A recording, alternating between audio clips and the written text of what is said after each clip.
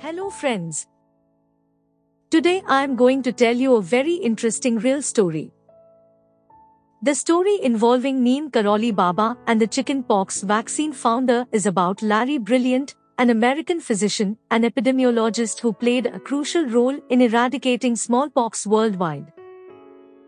In the early 1970s, Larry Brilliant was deeply involved in the World Health Organization's smallpox eradication campaign in India.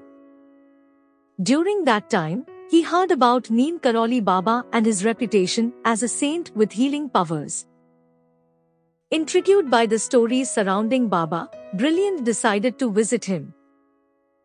When Brilliant met Neem Karoli Baba, he found him sitting on a wooden plank in a remote village in North India. As Brilliant approached him, Baba looked at him and said, You have come to tell me about your work. Astonished, Brilliant confirmed that he indeed wanted to talk about his involvement in the smallpox eradication program. During their conversation, Neem Karoli Baba gave Brilliant his blessings and told him that he and his team would be successful in eradicating smallpox. Baba then made an unusual request. He asked Brilliant to bring him some smallpox scabs, which are the scabs formed on the skin of infected individuals. Baba said that by taking the scabs, he would be able to help eradicate the disease. At first, Brilliant was taken aback by the request, as handling smallpox scabs was dangerous and strictly regulated. However, he eventually managed to obtain the necessary permissions and brought a vial containing smallpox scabs to Neem Karoli Baba. After receiving the scabs, Baba performed a ritual in which he crushed them and mixed them with water. He then placed a drop of the mixture on Brilliant's forehead, saying that he had given him the immunization against smallpox.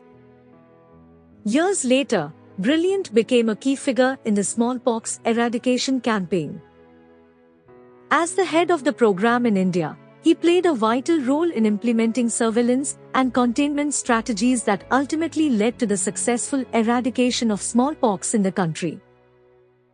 The smallpox eradication campaign, with Brilliant's contributions, was a tremendous success globally as well. In 1980, the World Health Assembly declared smallpox eradicated, making it the first human disease to be eradicated through concerted global efforts. While it is difficult to establish a direct causal relationship between Neem Karoli Baba's ritual and the eradication of smallpox, the story symbolized the faith, determination, and interplay between science and spirituality in the quest for public health. It demonstrates the power of belief, inspiration, and the convergence of efforts to achieve significant milestones in the fight against infectious diseases.